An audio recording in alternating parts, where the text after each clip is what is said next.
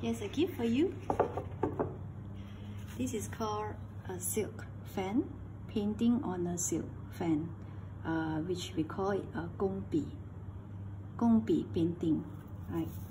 So the material is actually made of silk. Uh, uh, because it's made of silk, so it's actually transparent, but we put a paper at behind the fan so that it doesn't look so transparent. So actually you can just remove the paper uh, after you display it.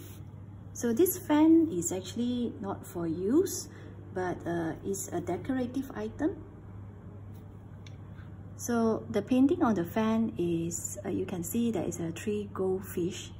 Goldfish in, Chi in Chinese uh, culture means uh, uh, it's a good fortune, right? So there's three. So one represent a good health, good wealth, and happiness. So the wording on the fan means uh, Gam Yok Mun Tong. Gam is gold, uh, Yok means jade, Mun Tong is full house. So I wish you a house full of gold and jade. Okay, now we see uh, uh, okay, there, there is a holder to display this fan. So now I'm going to demonstrate to you how to assemble the holder. So there's two stand here, right? And the left one. And you see at the bottom of the stand here, there's two button. So the button is actually uh, matched with the hole at the bottom panel.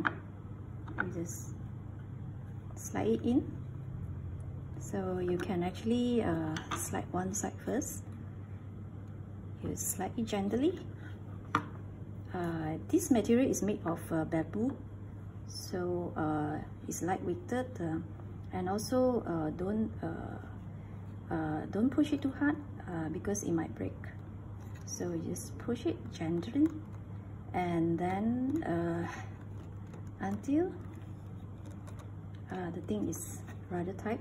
And you can see there is a distance in between here. So it is normal because this is for you to slide the fan in between. Right? So after you slide the fan in between you can actually um, close it further. Right. Like that. That's it it's done. And you can choose to display in any corner of your house that you think that is uh, suitable